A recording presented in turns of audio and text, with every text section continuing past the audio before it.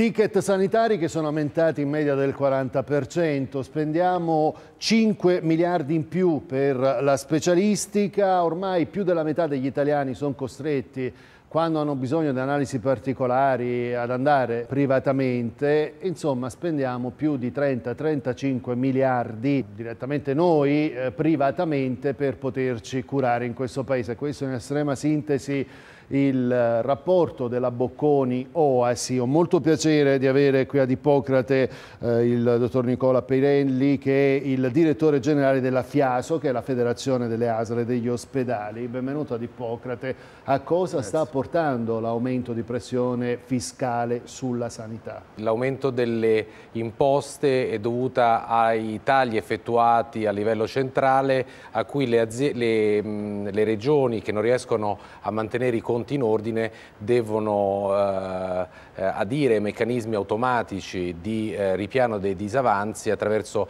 al, varie forme di... Ehm, le facciamo vedere in questo cartello sì. come le regioni si sono industriate per finanziare il sistema sanitario regionale. Maggiorazioni delle aliquote IRPEF, delle addizionali IRPEF, rincari del bollo auto, cartolarizzazione dei debiti, insomma su per giù è questo il meccanismo che usano. Sì, sì, sono gli strumenti che il federalismo eh, mette, a disposizione, mette a disposizione per, eh, per, far sì di... di Dottor Pinelli, sì. però non è così in tutta Italia perché appunto nel nostro paese poi ci sono 20 diverse sanità a seconda delle regioni e vediamolo in quest'altro cartello, ci sono delle regioni che abbiamo definite buone, quelle che non sono ricorse alle addizionali, che sono la Val d'Aosta, il Friuli, Trento e Bolzano, la Basilicata e la Sardegna e poi invece, lo vedete sempre dal rapporto Oasi-Bocconi, quelle che sono ricorse alle addizionali hanno aumentato le tasse, il Lazio, le Marche, l'Abruzzo, il Molise e la Campania. Guardi, è difficile fare una classifica in questi casi tra buone e cattive. Che come indicatori di efficienza noi abbiamo la spesa pro capite più bassa ehm, in Europa e che ha dei tassi di incrementi più bassi del mondo negli ultimi dieci anni.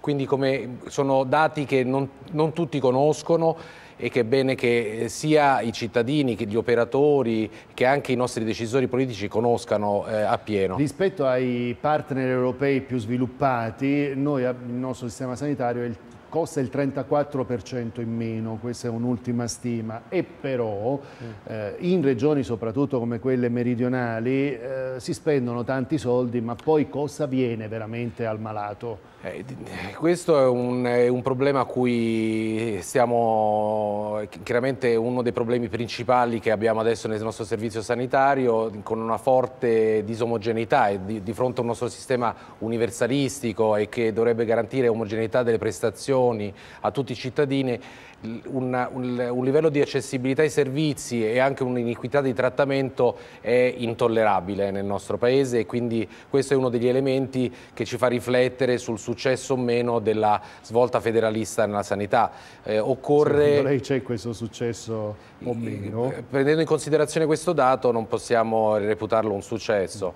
È, è chiaro che eh, sono importanti le, le, le, le eccellenze, ehm, occorre però eh, considerare che, sta, che, si sta portando avanti negli ultimi anni una vasta operazione di rientro delle regioni più in difficoltà e che eh, questi vasti tagli che sono stati operati dal 2011 ad adesso stanno mettendo a dura prova. Se non, e eh... vediamoli questi tagli che ci mettono veramente a dura prova. In quest'altro cartello che abbiamo preparato, gli ospedali sono passati dal 1997, gli ospedali grandi, ospedali italiani erano 942, siamo arrivati a 638, il dato è del del 2002, un po' vecchio ma è l'ultimo a disposizione.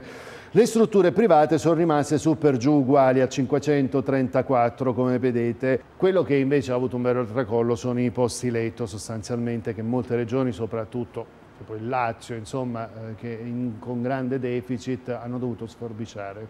Ma, eh, il taglio dei posti letto fa parte di una riconversione della tipologia eh, di assistenza che viene, viene, garantita dal servizio.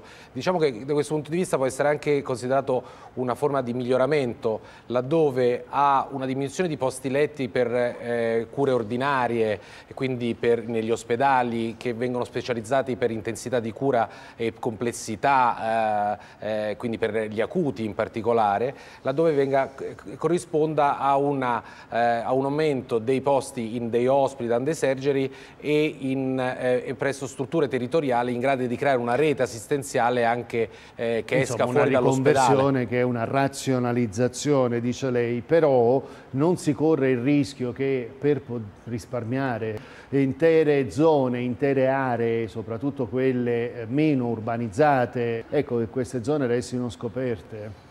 Eh, se eh, il, diciamo così, il problema è grave, eh, il cittadino va nella struttura ospedaliera di eccellenza. Eh, per questioni invece meno importanti eh, il cittadino non deve aggravare l'ospedale di richieste che potrebbero essere svolte in altre strutture. In una parola questo in, in sanità si chiama appropriatezza. Perché Appro spesso quelle altre strutture alternative sul territorio non ci sono. Esattamente, purtroppo. questo è un problema eh, e vediamo che i problemi eh, maggiori esistono proprio dove le strutture di prossimità, eh, di prossimità sono, sono scarse. Grazie dottore.